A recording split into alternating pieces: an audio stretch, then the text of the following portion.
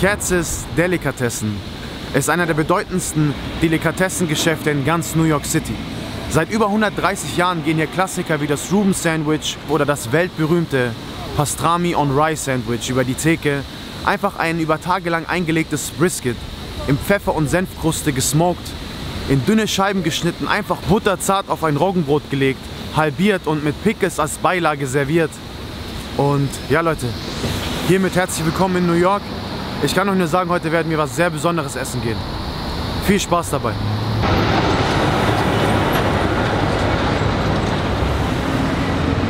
Guten Morgen, New York. Freust du dich auf das Sandwich? Ja, sehr. Was hältst du von Katz? Das beste Fleisch, das ich je gegessen habe, das beste Sandwich. Ist krank. Es zerschmilzt in deinem Mund. Und es ist nichts für Veganer oder Vegetarier. Da sind wir, Leute. Cat's Delicatessen. Was ein Laden. Ready? Ready. Hi. Take out or dining in?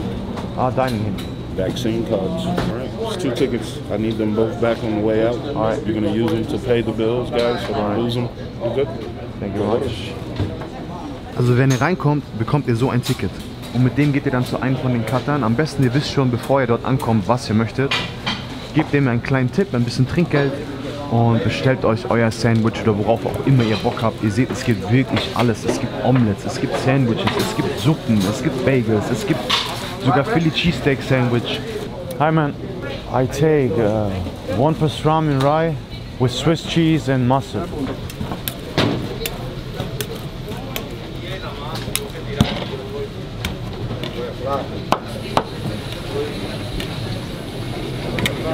Lucky, how you feeling, man? Swiss. What's your favorite uh, sandwich in here? Everybody's favorite is pastrami. We Yours? sell, we, yeah, we sell over thirty thousand pounds of pastrami a week. Wow! So everybody comes here for the pastrami. I still like the pastrami, but I like the brisket a little better because I don't see it as much. Oh yeah, that's true. Yeah. It's more special because you don't eat it so often. Yeah, I don't, I don't, I don't. It's not on my face all day like this thing. Oh, yeah. But I, lo- I still love the taste of the pastrami. Do you have any other Jewish delis that you can recommend in the city? This place is like top of the line. Ah. You, you can have a little sample. After this, is it's, it's hard to top this, you know. Alright. Hier gibt es ein kleines Una Probiererchen. para arriba está lleno. Schaut mal das Fleisch. Chichón llegó, llegó fällt primero, fast auseinander. subió primero de abajo. Thanks bro. Schmilzt einfach. Ja, musst du nicht mal kauen, es ist einfach so krass. Loco un rato. Rojo. Ich kann euch nur einen Tipp geben. Kommt auf jeden Fall früh her. Weil wenn ihr am Abend herkommt, der ganze Laden ist voll. So, überall sitzen Leute, überall stehen Leute. Du stehst Schlange, bist draußen auf die Straße. Also kommt früh und genießt die Ruhe. Und wie ihr sehen könnt, der Laden ist auch, glaube ich, seit 130 Jahren unverändert. So, es hängen Bilder an der Wand von wahrscheinlich 1888 bis 2020. So diese alten Neonlichter von Biermarken, von ich weiß nicht von was alles. Diese Würste, die an der, an der, im Schaufenster hängen. Diese Theke mit den Schildern, mit der, mit, der, mit der Karte, die auch einfach aussieht, als ob sie da seit, keine Ahnung, schon eingestaubt seit 50 Jahren hängt. Auf jeden Fall ein Erlebnis, ein Nostalgie-Kick und ich könnte mir auch keinen cooleren Platz vorstellen, so ein Sandwich zu genießen, wie an diesen alten Holztischen bei Cats. Ja, liebe Freunde, selten war ich so nervös vor einem Video und selten habe ich mich so gefreut auf ein Video, das für euch zu machen. Und ich habe auch schon so lange mir in meinem Kopf vorgestellt, hierher zu kommen und dieses Video zu machen. Seit ich das erste Mal hier war, dachte ich mir, Alter, das nächste Mal, ich muss mit einer Kamera kommen, ich muss ein Video machen. Ich bin wirklich so ein bisschen aufgeregt. Das legendäre, das wahrscheinlich oder einer der wahrscheinlich berühmtesten Sandwiches auf der ganzen Welt, in einem der wahrscheinlich berühmtesten Restaurants auf der ganzen Welt, liegt vor mir. So schön, so groß, so weich, so fluffig, so juicy, so rot, so einfach alles. Diese Pickles als Beilage. Und ich würde sagen, das Geist ist, dieses Ding aufzuklappen und euch den Querschnitt zu zeigen. Jetzt schnallt euch an, Leute. Oh, shit.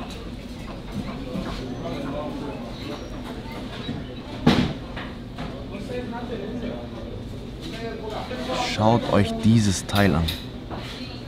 Das ist der Inbegriff von Juice von Saftigkeit, von Fettigkeit, von Käsigkeit, von Fleischigkeit, von Senfig und Brotigkeit. Es geht nicht besser. Da wird auf jeden Fall nicht gespart an Fleisch. Ja, das ist so crazy, was sie da reinpfeffern. Die Leute können ja gerne mal in den Kommentaren zuerst raten, was es kostet. Genau, an der Stelle ratet mal, was dieses Sandwich gekostet hat. Das erfahren wir dann später, wenn wir rausgehen und bezahlen, was wir Ja. dafür bezahlt haben. Und jetzt reden wir nicht lang rum und beißen rein. Pastrami und Rye bei Cats Delikatessen. Endlich ist es soweit. Dieser Moment, wir genießen ihn gemeinsam. Mahlzeit, Leute.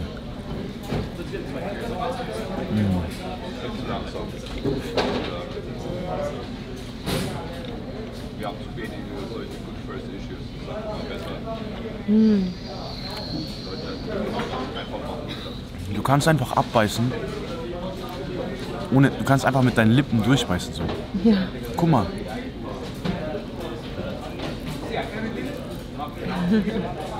Mm. Okay, fast. Das ist das zarteste Fleischerlebnis, das ich jemals hatte.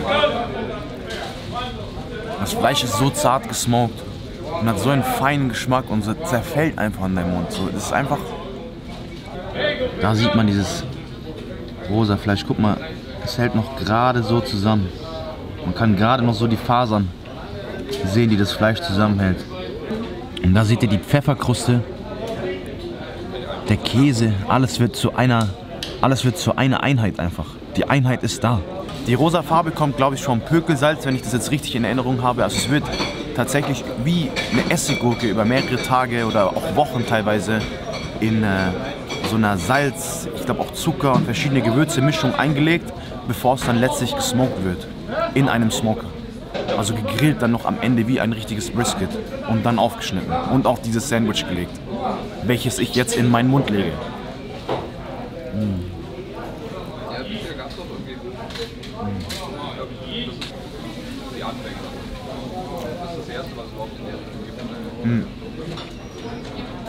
Okay. Da kann ich auch nicht Nein sagen, natürlich.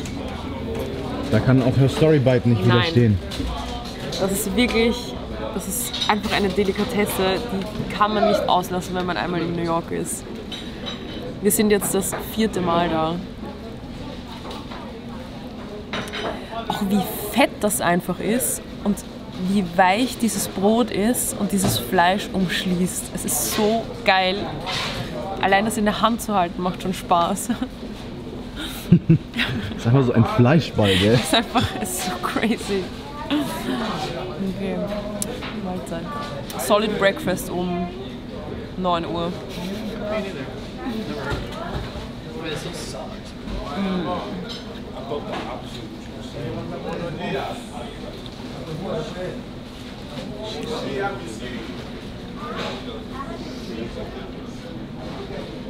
Dieser Geschmack.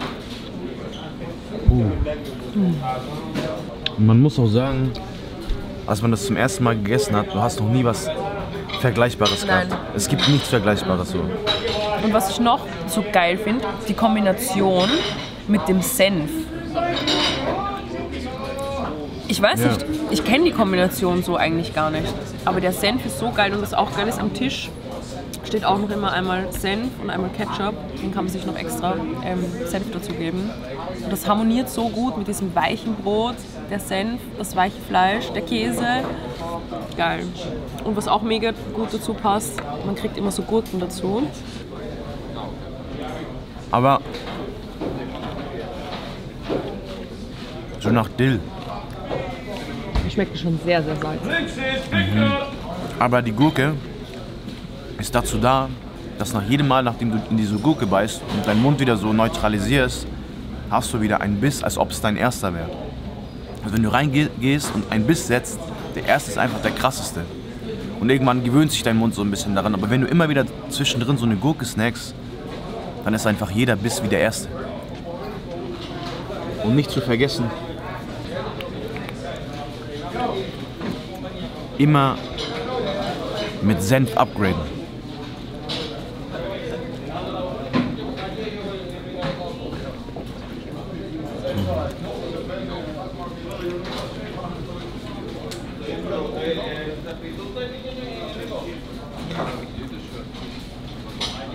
Wie das einfach so in deinen Händen zerfällt. Das ist so weich.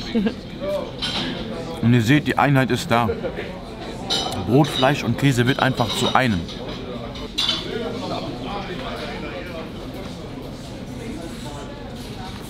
Mm, Ich glaube, ursprünglich brachten jüdische Einwanderer die, äh, diese Delikatessen wie das Pastrami-Sandwich oder auch den Lox Bagel, den es hier auch gibt, mit Salmon und Cream Cheese, diese schönen weichen Bagel, überhaupt das ganze Eingelegte in die USA und begannen das zu verkaufen in diesen Delis, die es auch noch überall in New York verteilt. Wie gesagt, das ist so das legendärste und berühmteste so. Und das Ganze hat sich einfach bis 2021 und wird sich wahrscheinlich noch weitere 50, 100 Jahre halten oder bis ins Unendliche und uns mit diesen geilen Speisen beglückt und bereichert.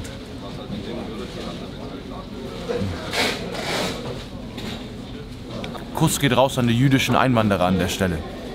Und nach dem Essen geht ihr dann mit eurem gekennzeichneten Ticket zur Kasse und bezahlt. Das ist Cash.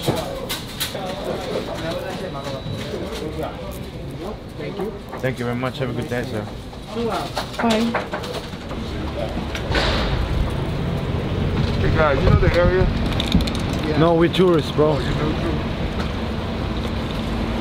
Okay, Leute, der Preis. Ihr seht, ihr seht, wir haben keine Getränke genommen, ja, weil ich irgendwie nicht dran gedacht habe. Aber wir haben für dieses Sandwich und um es dort zu essen,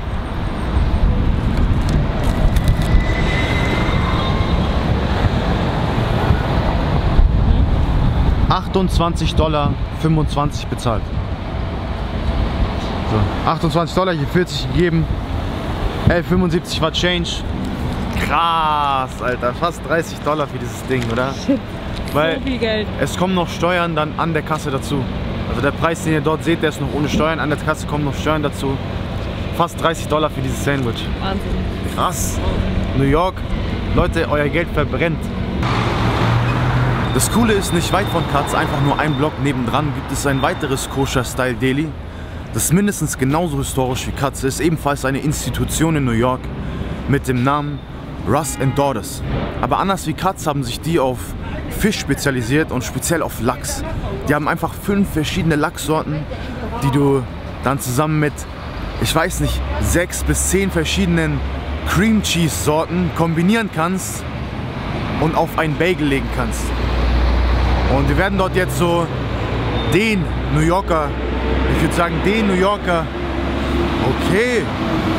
Und wir werden dort jetzt den New Yorker Frühstückssnack essen. Den Logs and Cream Cheese Bagel. Einfach eine Schlange. Einfach eine Schlange. Die wollen alle Bagels.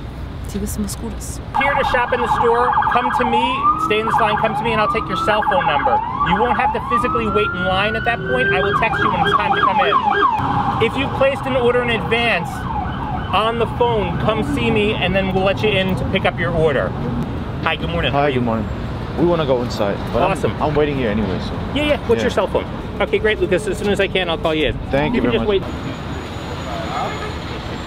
Ich glaube, man kann Ross Daughters auch so als kleines Lebensmittelgeschäft, Delikatessengeschäft sehen, in das die Leute wirklich reingehen, sich Zeit lassen, sich ihren Lachs, sich ihr Gebäck, sich ihre Trockenfrüchte, sich ihren Kaviar aussuchen und äh, deshalb auch die Schlange, beziehungsweise deshalb auch das, das, das, das äh, Handynummernsystem, dass die Leute auch wirklich auch in Zeiten wie diesen äh, in Ruhe shoppen können.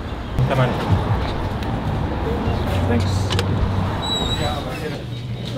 Hey, uh, can I get one uh, lox and cream cheese bagel? Ihr seht auf jeden Fall auch wieder einen Laden, der einfach in der Zeit stehen geblieben ist. Sieht einfach unverändert aus so. Und der nette Herr bereitet gerade den Bagel zu. Es wird ein dicker Klecks Cream Cheese auf den, auf den weichen Bagel gelegt, gefolgt von diesem Lachs. This is first time?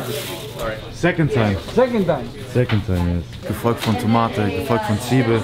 Thank you, sir.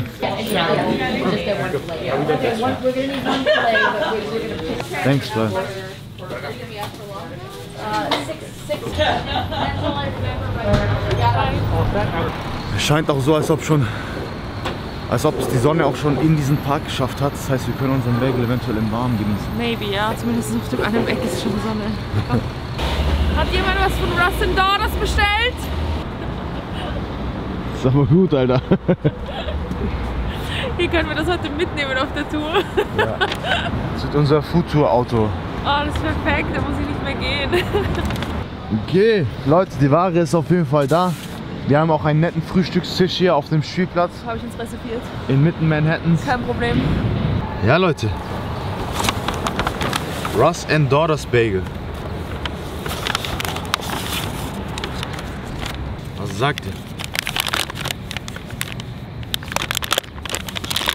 Leberkässemmel. Ich liebe diese Verpackung.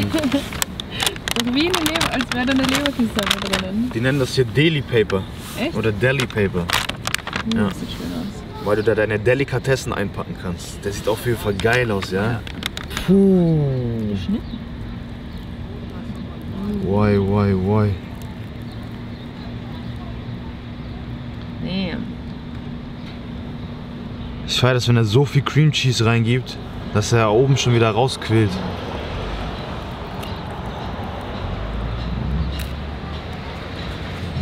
Schaut einfach mal an. Diese Freshness da drauf. Diese Juiciness. Diese drei, vier Schichten Lachs zusammen mit der schönen Zwiebel, die wird jetzt gleich so schön knacken. Tomate ist mit drauf. Und der Cream Cheese mit Scallion, also mit den, mit den äh, Jungzwiebeln müssten das sein. Oder Frühlingszwiebeln. Bringt nochmal so eine gewisse Kräuterigkeit rein. Ja. Auf unseren kleinen Zwischensnack zwischen Katz und dem, was noch kommen wird.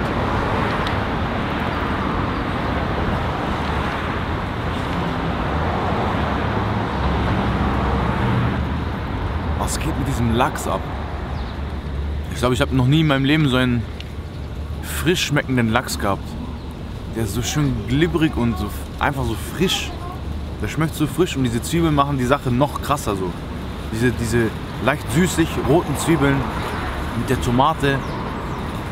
Einfach so eine Fresh, du musst einfach grinsen, wenn du da reinbeißt. Das ist wie so ein, ich weiß nicht.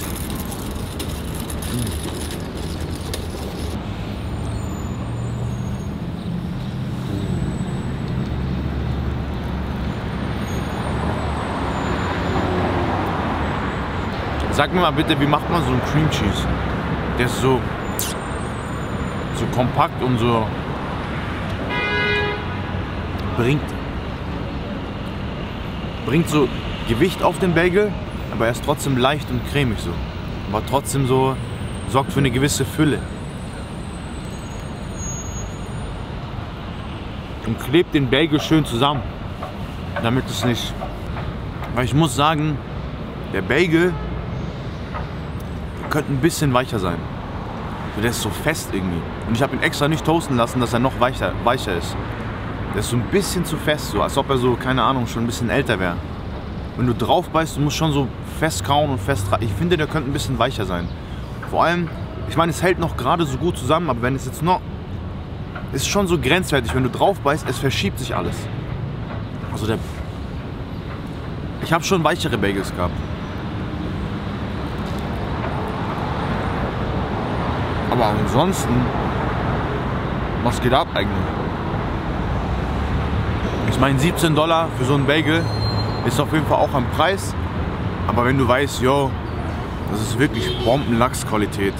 Das ist Handarbeit. So, die lassen sich Zeit für jeden Kunden. Du kannst da drin stehen, du kannst shoppen, du kannst. Niemand stresst dich, niemand scheucht dich rein, raus. So. Das sind Leute, das sind Profis am Werk, die machen das seit über 60, 70, 100 Jahren. Ähm, bis auf den Bagel. Der Bagel, also nicht persönlich nehmen, aber der könnte noch ein bisschen weicher sein.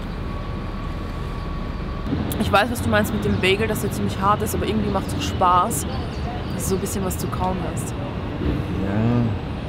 Aber er, er könnte eine Spur garschiger sein, teigiger. Aber es ist schon, wow, geil. Auch der Cream Cheese ist mega lecker.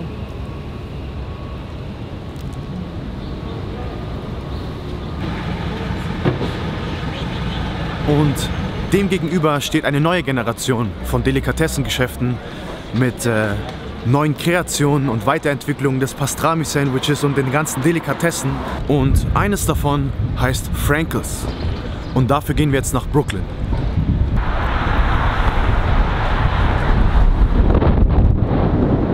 Dafür gehen wir über die Brooklyn Bridge. Die wahrscheinlich berühmteste Brücke in New York City. Und zu so früher Stunde und auch unter den aktuell globalen Bedingungen wahrscheinlich so leer wie noch nie. Gebt euch mal diesen Ausblick einfach. Schöner Tag. Die Sonne scheint bedeckt von einer kleinen Wolke. Mehrere weitere kleine Wolken am Himmel. Klar, schön, hell. Why, why, why? Gebt euch mal einfach. Spider-Man wohnt hier. Excuse me. How do you like the Brooklyn Bridge so far? It's very nice. Was willst du? Und, und das war's von der Brooklyn Bridge, meine Damen und Herren. Ich übergebe wieder an Her Storyfeed. Wie geht's weiter? Ähm, Wo müssen wir hin? ich weiß nicht. Okay. Wir ge- übergeben wieder an Lukas. Herzlich willkommen in Brooklyn. Und herzlich willkommen bei Frankels Deli.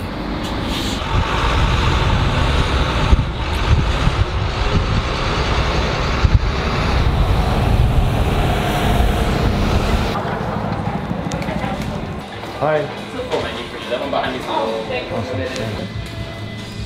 Ich würde sagen, wir nehmen jetzt mal einen Ruben. Ein Ruben? Was Mit sagst du? Sauerkraut. Oder? Das Ruben Sandwich ist entweder mit Roast Beef oder auch mit Pastrami, zusätzlich Sauerkraut und Russian Dressing. The Reuben? Ja. Anything else for me? Und ihr seht so ziemlich das Gegenteil von Cats, kann man sagen, oder? Ja, ein bisschen moderner, ein bisschen. Es ist ruhig, clean, moderner, aber irgendwo trotzdem traditionell so. Ja. Es gibt auch wieder die ganzen jüdischen Delikatessen, Klassiker.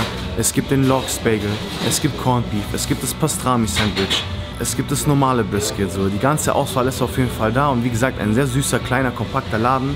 Und wir haben uns jetzt für das Ruben Sandwich entschieden mit Pastrami, also nochmal die gleiche schöne Fleischladung wie vorher, aber diesmal mit zusätzlich Sauerkraut und Russian Dressing.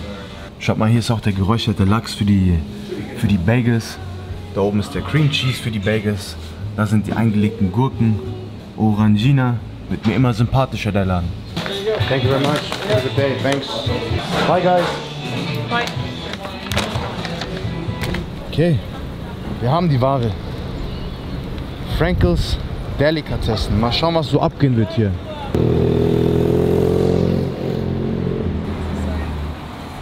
Was? Bin gespannt, ob das jetzt mithalten kann mit Katz. Ja, das bin ich auch. Weil ich habe einfach noch nie ein besseres gegessen. Und wir haben schon andere Wir gegessen, mal aber in die nicht rankamen. Ja. aber no way, Let's no do it. way. Mm, mit Pickle. Seid ihr bereit? Hier sind unsere Essiggürkchen für die Seite. Eine hellgrüne und eine dunkelgrüne. Die sind ein bisschen kleiner als bei Katz. Die fallen etwas kleiner aus. Schauen wir mal, ob das Sandwich auch kleiner ausfällt. Oh, ist auf jeden Fall schön warm. Geil eingepackt.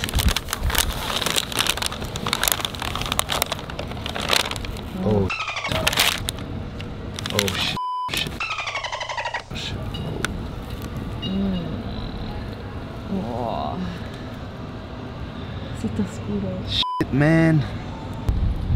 Und ihr seht, wir haben wieder das schön rosa Fleisch. Rosa Pastrami. Ich glaube, in der Regel ist es Ruben mit normalem Corned Beef zubereitet. In dem Fall Pastrami. Man sieht hier wieder diese geile Pfefferkornkruste und Sauerkraut.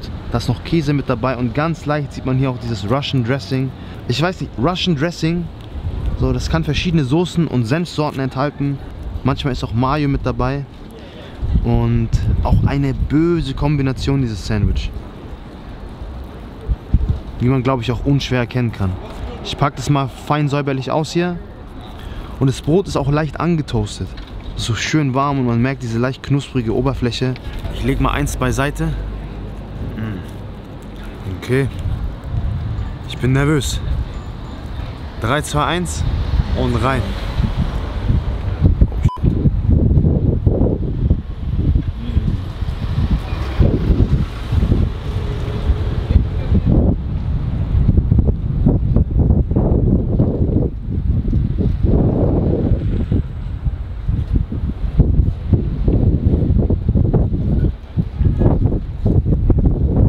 Wir haben es wieder geschafft. Wir haben wieder diesen Pastrami-Kick. Wieder dieses saftige, zarte Fleisch, das Fleisch fast zerfällt. Und diesmal mit diesem Sauerkraut drunter, das noch so eine kleine Frische reinbringt und so harmoniert mit diesem fettigen und weichen Fleisch.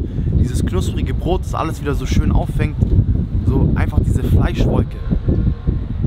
Und der Käse, der alles schön zusammenklebt. Klein, kompakt und auch sehr, sehr liebevoll zubereitet. Fast schöner zusammengelegt als bei Cats, muss ich sagen. Und auch das Brot, Bombe.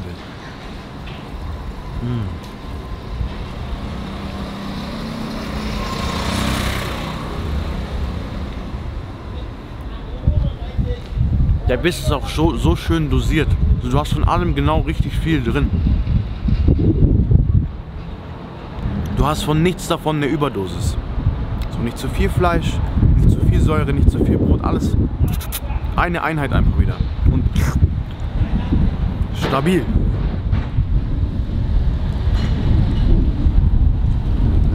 Papier will mein Sandwich nicht gehen lassen.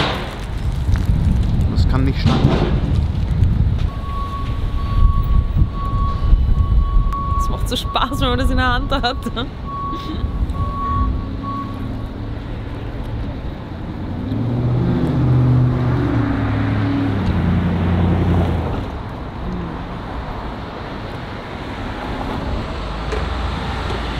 Was würdest du sagen, kommt ran, oder? Ja. Auf jeden Fall. Der Unterschied ist halt, dass hier das Brot getoastet ist. Voll. Das ist bei Katz nicht. Das liegt, glaube ich, auch am Ruben, oder? Mm, Nee, das, wir hatten ja beim ersten Mal auch einen Ruben. Das Auch nicht getroffen gewesen. Bei Katz toasten dieses Sandwich nicht. Aber das Fleisch ist exakt the same. Das ist genau gleich. Ja. Schmeckt Bombe. Man Wahnsinn. müsste es, glaube ich, so Hand an Hand einzeln pur vergleichen und probieren, um überhaupt einen Genau. Unterschied zu schmecken. Aber es Ja, das würde man nicht erkennen. Also beides top. Richtig top. Und ich finde auch.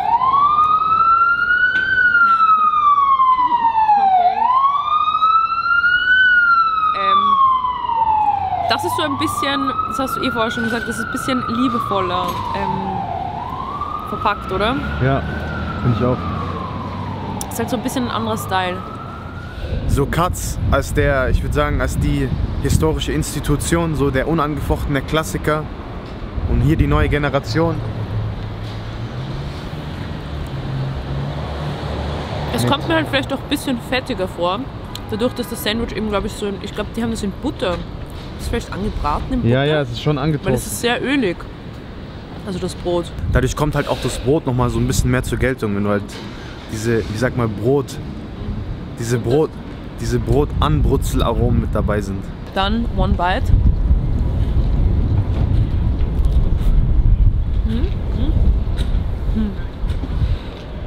Nein, ich habe die Gürkchen vergessen. Du hast die Gürkchen vergessen?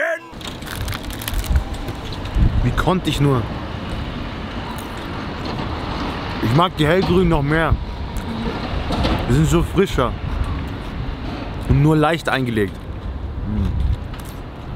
Die sind richtig geil. Mm. Oh.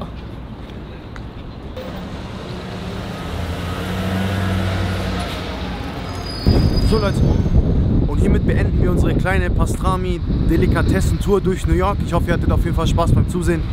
Wir sehen uns wieder beim nächsten Mal. Macht's gut. Peace. Ich gebe dir 10 Dollar, wenn du es schaffst, da reinzukommen. Aber mit Kopf.